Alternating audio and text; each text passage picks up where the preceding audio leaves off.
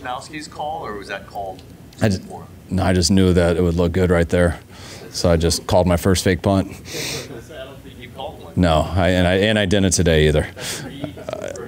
Uh, I don't really know what happened on it. He, I think he just hesitated a little bit. I haven't got to talk to him personally. Um, I, I don't know if he thought it was going to get blocked or if he bobbled the snap a hair or he just had a glitch.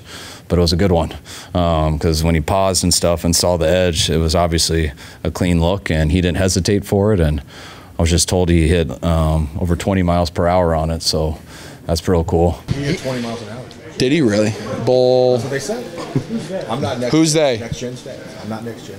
That's you know what? When you have a punter like it's the it's the hair. That's what it is. It's the hair. He just flies in the wind, baby. Is that one of the things on the sideline where, where Kyle says, no, no, no, oh, yes, yes, yes? Uh, probably. Yeah. I think Schneids was doing the same, special teams coach. and then it's kind of a badge of courage that uh, you get knocked out of bounds over there and take a hit and, uh, and draw a flag on that, too, I suppose, when you're the punter.